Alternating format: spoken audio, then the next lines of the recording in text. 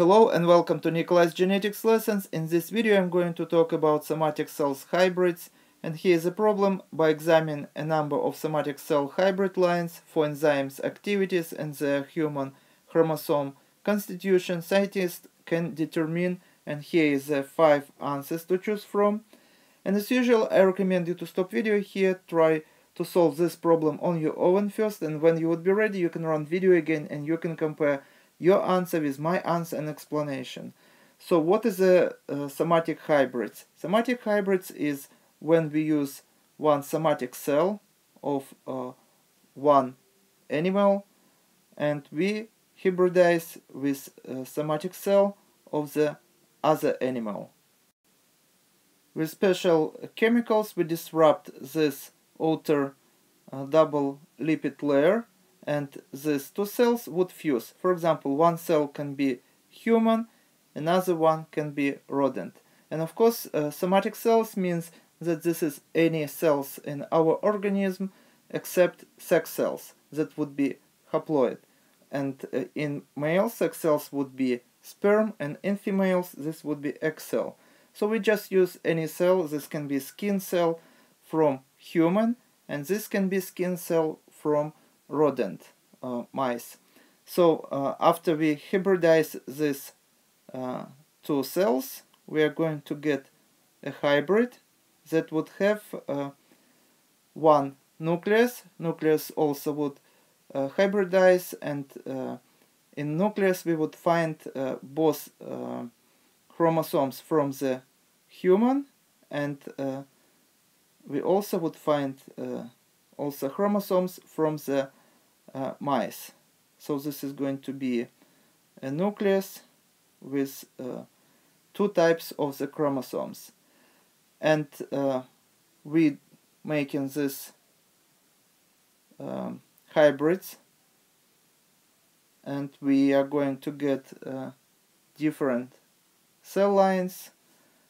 Uh, why we need many hybrids? Because uh, we are going to get different number of chromosomes in each because uh, humans and rodents are related distantly and uh, not all the chromosomes we can find in the nucleus of the uh, hybrid cell and uh, usually humans chromosomes would be lost and most of the chromosomes that can be found uh, in the nucleus of such hybrid cell would be from the rodent. Now imagine that we know that uh, such a genetic disorder as Tay-Sachs uh, caused by uh, enzyme, uh, HEX-A enzyme or HEX enzyme, but we don't know on which uh, human chromosome we can uh, find this gene. And now when we hybridize these cell lines, we got uh, information that uh, here we have chromosome number 1, 15 and uh, 18 left. So usually in uh, human and mice hybrid, uh, human chromosome would be lost and only few would be left.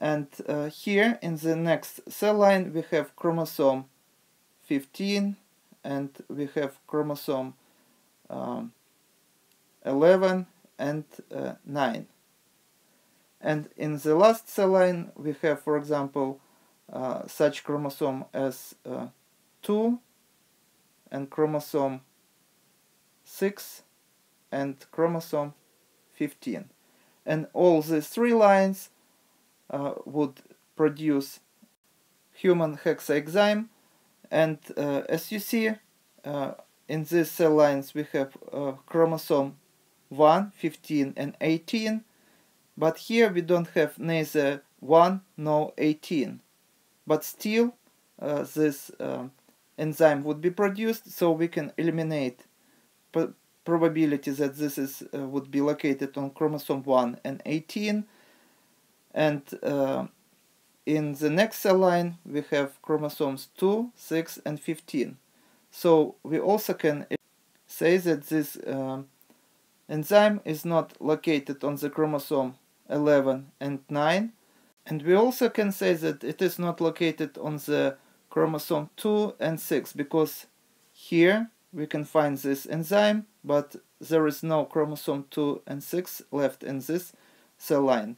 And the same is uh, here but we see that in all three cell lines we can find chromosome number 15 and we can now say for sure that this enzyme located on the chromosome 15.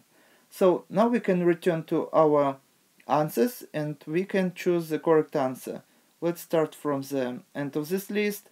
Answer E. Scientists cannot determine any of these things and this is not true.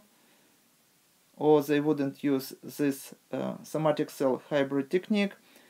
Answer D. The number of human chromosomes in each cell and this uh, only on the part true because we uh, do have to find number of human chromosomes left in each hybrid cell but this is only part of our answer so we can cross out this uh, answer also answer C is the number of chromosomes in human genome and this is not what we are looking for with this technique because we know that human genome consists of 46 uh, chromosomes or 23 pairs of chromosomes for about 70 years.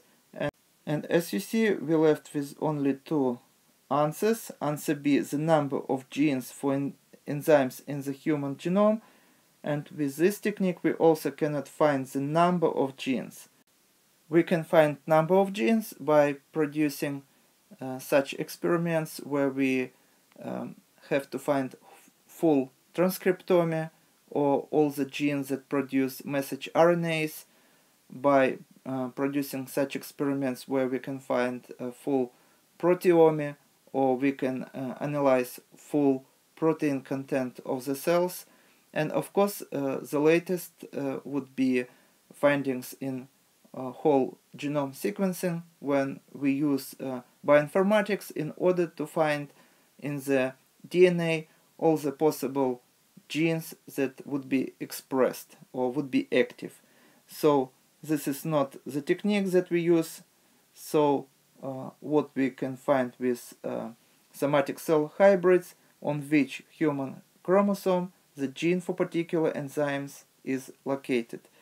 So our answer would be A. And this is all for today. Thank you for attention. Please subscribe for my new videos that I post almost every day. Thumbs up if you like this video. Please write your comments, questions if you have any. And see you in the next video. Goodbye.